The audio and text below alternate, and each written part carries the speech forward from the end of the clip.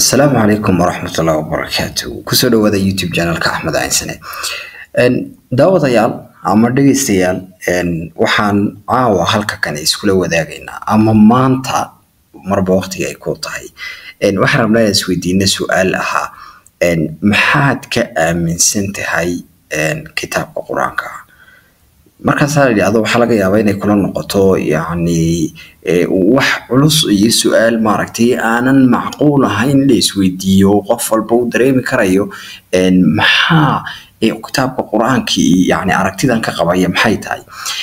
Kitaabka qur'aanka ah dadkeena badankood aragtida ay ka qabaan waxay tahay in kitaabka qur'aankii saddex arrimood uu maaragtay inoo qabto balada arrintaas u fiirso.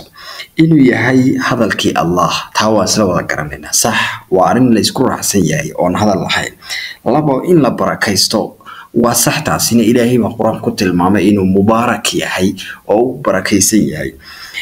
Ta saddexaadeen aaminsannahayna waxaa weye kitaabka qur'aanka ah in aan ku akrinayno dadku markay ay maaragtay inaga dhintaan in u akrinayno taasina waa fikrad sax ah. Oo iyada lafteedu wax khaldan ma ahan arrinta afraadoon aaminsannahay marka xagga kitaabka la eegaya waxay tahay inaan kitaab qur'aanka u aragnay in uu yahay yacni wax la isku daaweeyo oo maaragtay qofkii naga xanuunsanaya aan ku aqrino. Arrintaasina iyadana sax waayo waa arrin saxa laakiin weli ujeedkaygii ma imanin. Su'aasheedu marka hadday imanaysaa intaa markaad ka soo tagtid maxaa kalood qur'aanka ka aaminsan bal adi su'aasha isweydii muuqaalka bowsgaree kadib waxaa isku daydaa bal inaad ka jawaabtid haddii marka aan arintaas dib ugu noqdo afarta shay een hadda sheegayba ilaahay qur'aanku waxa uu ku yidhi kitaabun anzalnaahu ilayk. Waa kitaabaan kugu soo dejinay. Damiinis ilaahay uu ka yimid waa fikradda koowaad ee qur'aan ka kitaabun anzalnaahu ilayka mubaarakun. Wuu barakaysan yahay buu ilaahay yidhi. Wuu barakaysan yahay. Barakada waxaa ka dhalanaysa in dadkii dhintay loo akhriyo.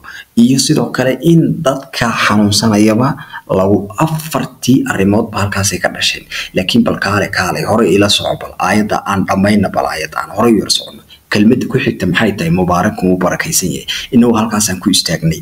Haddii ay maanta mujtamacaadka islaamiga hadday yihiin iyo bulshada soomaaliyeed gaar ahaan hadday tahayba mubaarakun maxaa ku xiga?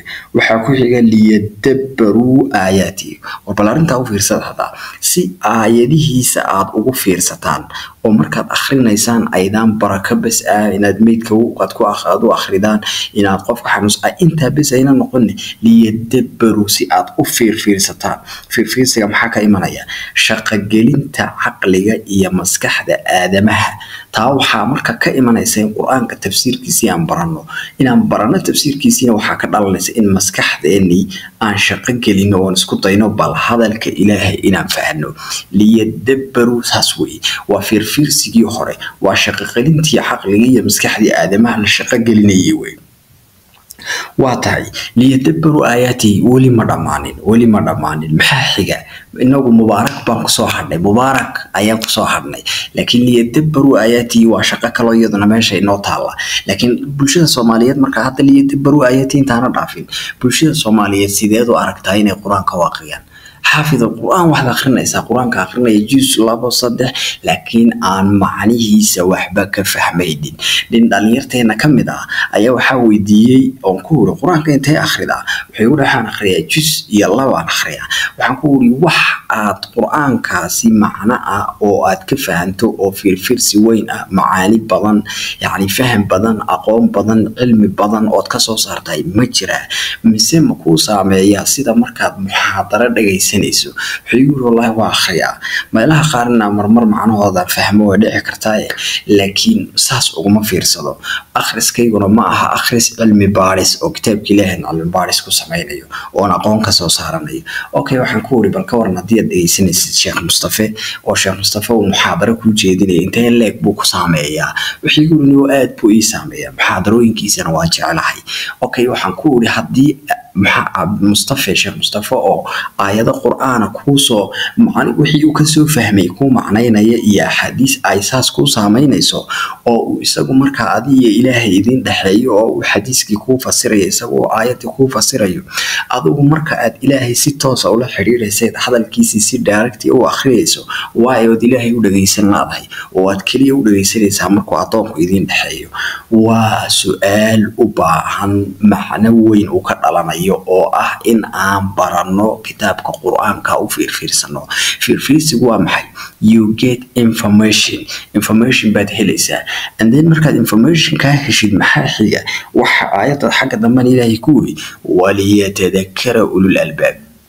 Kuwa caqliga leh si ay ay maaragtay ay u waantoobaan. Kuwa caqliga leh si ay u waantoobaan. Okay okay. Waa isla fahnaan malaynayaa haddaba bodcastiga soo socda. Haddii ilaahay yidhaahdo bodcastiya inoo soo socda waxay focuska saari doonaan kitaabka qur'aanka iyo culumta uu ka hadlo isaga kitaabka qur'aanka iyo cilmiga sayniska kitaabka qur'aanka iyo cilmiga maadiga aan u bixinay oo isaga isla qur'aanku uu sheegay ayaan ka hadli doonaa. Haddii ilaahay yidhaahdee bal waxaa isku dayda haddii weli aadan maxaan ku dhahdaa youtube-ka aadan weli ku soo biirin. Kusoo biir youtube-ka si aad uga mid noqoto dadka oo maaragtay waxyaaba bulshada anfacaya xaagkan aan ku soo gudbino.